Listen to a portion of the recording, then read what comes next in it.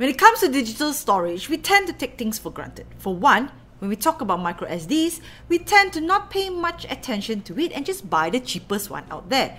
But did you know that the speed of a micro SD makes a lot of difference when it comes to reading and writing files? Alicia from KL Gadget TV here, and let's compare between three different types of micro SDs to see whether there is actually any difference between them. Now what we have here are three micro SDs. A R85 micro SDHC card by Apacer, a SanDisk Ultra micro SDXC card, and some random no-brand micro SD.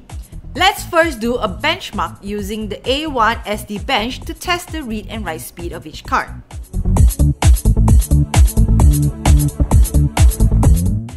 So, the winner for the benchmark test is actually quite competitive. Now, the read and write between the Apacer and SanDisk is quite close by a hairbreadth.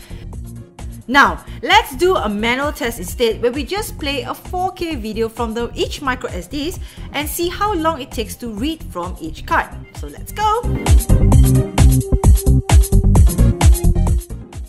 So the winner here is the Apacer R85 as it reads a little bit faster than the others. So what we see here is that different brands and different type of micro SD cards do make a difference whether you're using it on your phone, camera, action cam or any recording devices.